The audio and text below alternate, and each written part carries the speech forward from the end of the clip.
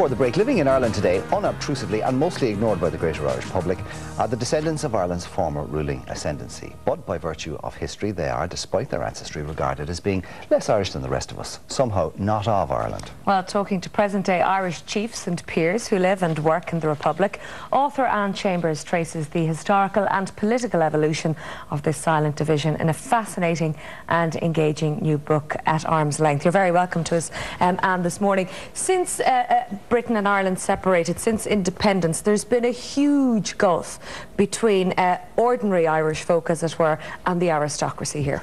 Yeah, that's something that fascinated me. Um, and that's really was the whole basis for the book, because I always felt that I, I, thought it was myself, you know, that, uh, that this divide existed between the rest of the Irish public and the descendants of the former ascendancy. Uh, and I wanted to know, was that fact or was it just my imagination? So that set me off on the trail of this book. And Dan, it, it, it's more to do with our history and the politics in this country as opposed to um, the division, say, between wealth and status. Exactly. It is more to do with politics and history. And when you look at the other republics in Europe, you see that perhaps material things is the difference between their aristocracy and the rest of the people. But here in Ireland, it runs deeper than that. The seeds really for that division were sown almost as soon as the Normans set foot in the country. And I trace that in the book. But what makes it more interesting from my perspective is how the present day descendants of the Normans, of the Cromwellians, of the Elizabethans, that are with us today, how in turn they have been, if you like, kept at arm's length now since the foundation of the state. And actually, some of them can really be left feel like they are strangers in their own country. We have two aristocracies, in, in don't we, Anne? We have, we have the ancient Irish or the Brehon aristocracy, and then we have, I suppose, the Anglo-Irish or the Anglo-Norman, or, a, you know, so, so uh, which one were you concentrating on specifically, and which one have we forgotten most? We've forgotten both. I mean, you talk to somebody like Conor O'Brien, Lord Inchiquin, who is the 32nd great grandson in descent from Brian Boru, but he also has an English title or an English given title. And he could tell me, and indeed he gave me the title for the book at arm's length, he felt he was, as his family had been kept at arm's length by the state. How could a descendant of Brian Boru feel less Irish than any of the rest of us. He, he's Isn't made feel that. Yes. Now here, here am I with a name called Chambers, but by virtue of my accent, my birth, and my education, I would be looked on today as nothing other than Irish. But somebody like, for example, Conor O'Brien, 32nd great grandson of Brian Boru, because of the past allegiance maybe of his family past historical events in his family that really have nothing to do with him. But today he can still feel a little bit removed from the country to which he belongs, and by virtue of his birth, perhaps belongs more than any of us. But I have to say, at the same time, I interviewed 14 of the descendants of the ascendancy as they are living and working in the Republic today. And they are quite a bunch, I must say, and very, very interesting. And they're all very, very positive.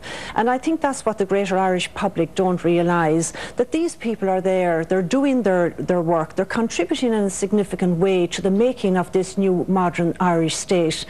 And they are and have become actually in a funny turnaround as we become almost more anglicised, the rest of the Irish public. Mm. They have really zoomed back into their Irishness which is I found quite a significant, you know, development really. Lord Henry Mount Charles um, Anne is probably the best known, or one of the best yes. known uh, uh, aristocrats in the country. Mm, well, when you enter the pop world and politics at the same time, that's guaranteed. Yes, Henry would be, and I think he, in the book, he is quite, I suppose, forthright as he tends always to be, and I found his attitude indeed and his contribution, it nearly rocked me in its awful truthfulness. You know, today we're so used to sound bites and really being deceived, I suppose, by so many uh, icons that we held in such pedestals. And it was lovely and refreshing indeed to talk to somebody who really told it as it was and didn't pull a punch. And I think that is reflected in his contribution to the book. Who else do we have? Uh, sorry, Mark. No, go ahead. Well, we have the 13th great grandson of Granuaile, who's uh, uh, one of the ladies who tends to accompany me on my journey through life, and that's Lord Altamont in Westport House. And his contribution was very interesting as well, because he was talking about the economic development of the West of Ireland, so he was talking very much as a West of Ireland man.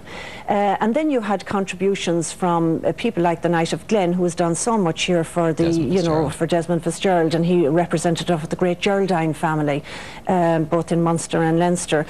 And you had people like Lord Longford, who no longer uses his title, which is interesting enough and would be very much into the pure sense, if you like, of the Republican mode because his family came in the Cromwellian times and like it or not, that's where a lot of, of the Republican aspects of this country developed from, which is a kind of a, an incongruous thing in history. One always thinks of the Cromwellians with a certain, mm. or views them with a very jaundiced eye. But in effect, many of the planters that came during that time contributed significantly to the development of Ireland. But Anne, isn't it, isn't it fascinating that, that the, the the ideologies and the philosophies of Irish nationalism and Irish republicanism were actually developed by the elite because they had the education Absolutely. to devise them in the first place. Absolutely. And, it, and in fact, they almost mm. turned on their own class yeah. to do that. And yeah. now they've, they've been, as you said, you, you describe them as a missing strata of Irish society. Yes, I mean, I'm not, I'm not pro or against. You know, I was the honest broker, hopefully, in this book, and I was the link really between us and them.